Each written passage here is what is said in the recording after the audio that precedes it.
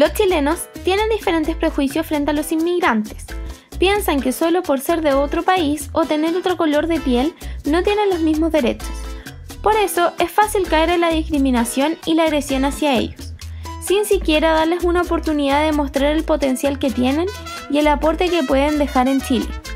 Ese prejuicio se ve reflejado en varias frases xenófobas. Que lata estos negros, cada vez son más. Se puso negra la cosa, ¿ah? Vienen a puro robar. ¿Los colombianos son traficantes?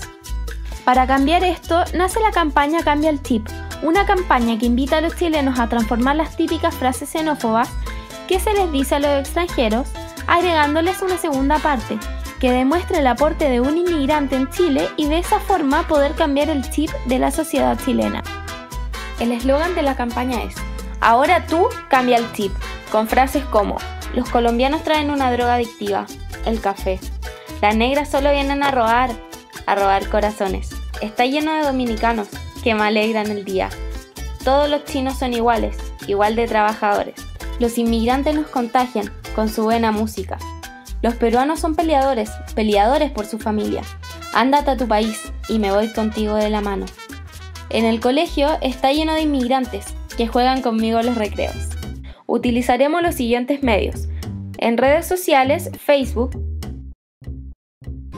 y YouTube, en el cual aparecerá un banner en los videos musicales que sean de cantantes de países como República Dominicana, Puerto Rico, Jamaica, etc con la frase Los inmigrantes nos contagian con su buena música. En radio utilizaremos Radio Carolina, Activa y Corazón.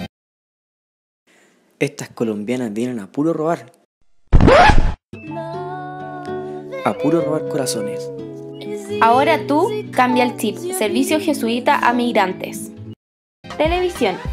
En el matinal Mucho Gusto de Mega habrá una intervención de un grupo de baile compuesto por extranjeros. Partirá con la panelista María José Quintanilla diciendo frente a la cámara, los inmigrantes nos contagian la fiebre, la fiebre del baile.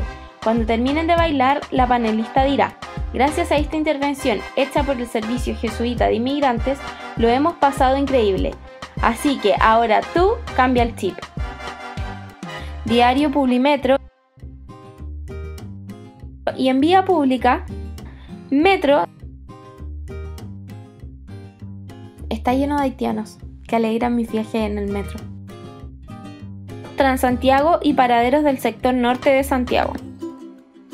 El objetivo de la campaña es demostrar que los prejuicios frente a los inmigrantes son erróneos, porque los extranjeros pueden ser un potencial aporte a nuestro país en distintos ámbitos, ya que nos entregan más cultura, alegrías y por sobre todo nos enseñan a aceptar a los demás.